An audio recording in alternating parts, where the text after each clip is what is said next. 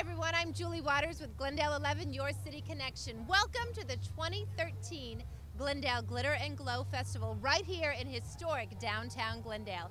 Joining us right now is our balloon meister, Bob Romaneshi. How are you doing tonight? I'm doing wonderful. It's a beautiful night out here. How many balloons do we have here tonight? We have 18 balloons this year for the 18th anniversary of our glow.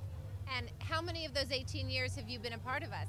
I've been here every year. I started with the event when it was the Super Bowl event, and uh, the city of Glendale loved it. They decided to keep doing it, and I'm still here. And that was the Super Bowl back in 1996 when it was held in Tempe. Yeah. So, what has changed the most over 18 years? The amount of people. It's just a phenomenal event. People love to come out here, and it keeps growing and growing and growing. What do your balloon pilots who come out here every year, what do they tell you about the feel that they get and the response that they get from people? When the pilots come out here, they love it that the people come up and they talk to them, and it's just like they've always known each other. The ballooning drops all the barriers, and, and so uh, they, they like the atmosphere. They like the fact that they're coming out and showing people their balloons, and the people are coming up and talking to them, and uh, you know, just in wild-eyed gazement. Right. Tell me about some of the balloons we have here at our at our 18th festival tonight. We of course have this really cool one over here. You know that one.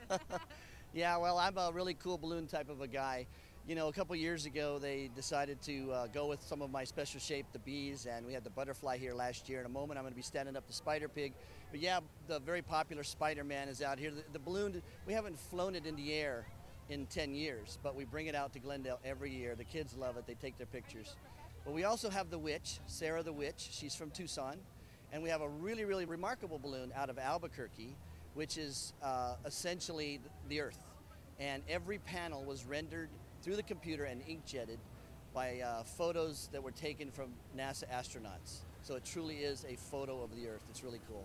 And speaking of photo, Bob, everywhere you turn, somebody is taking a picture. I mean, and they've got fancy, very expensive cameras, right down to just smartphones with cameras. That's pretty. Uh, that's oh, yeah. pretty phenomenal and a very normal thing these days compared to 18 years ago. You know, they say that the most photographed event is the Rose Bowl parade, and I can imagine, well imagine why. But you know, we come out here, we got 90,000 people, and every one of them have a cell phone. So if they don't have a very expensive camera, they have their cell phone. And they're taking pictures, they're posting them on social networks, they're sending them to their friends. It's great. Yeah, and it's all good because it kind of tells people oh, yeah. come out if you if you missed it this year, come out next year. Real quick, let's talk about a crew. Uh, we got some pictures of you a little bit ago. You were out there working it. You've got a full, everybody has a full crew. It doesn't take just two or three people to put a balloon up. You know, it can be done with a small amount. We've got some small balloons out here that with two or three people, and we've got some large shapes that take 12.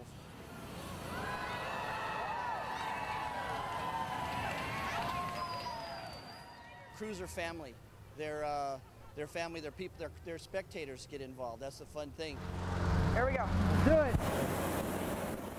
But uh, it takes two people to hold the mouth open so that we don't burn it when we're inflating it. It takes a person on the end of a rope to hold it down so that it doesn't come up too fast. And then, of course, we got to get it back in the bag, and these some of these things weigh 400 pounds. So uh, our crews, you know, we got to take good care of them. They're amazing help, and uh, they do it because they love it. Some of them are pilots, and some of them are just people that come out. They never want to fly. They just want to help you. And some are your own kids, I believe. Well, yeah, I'm very I'm very proud that. Uh, that this year, two of the balloons are piloted by my sons. We have the Arizona flag, the Arizona Superstar balloon, which is an icon, one of the first balloons in Arizona, piloted by my son Aaron. And uh, the Spider-Man is piloted by my son Ryan. So uh, they finally came into the family business. Let's wrap things up. We are um, we're about halfway through tonight's festival, and there's such a neat feeling here in this downtown right now. What is your hope for tonight and for next year with the Glendale Glitter and Glow Festival?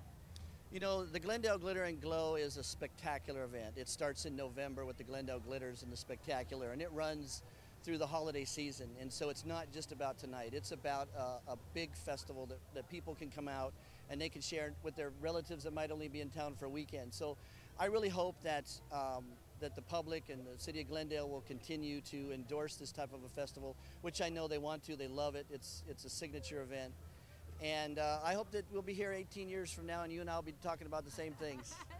that would be great, Bob. Thank you so much for your time tonight. I know you got a lot of work to do. You got a balloon here you need to put up. I do. Spider Pig. Come All right. Thank you All very much. Thank you. Have a good Bye -bye. night. For more information on any of Glendale's special events, go to the city website, glendaleaz.com, and click on the special events page.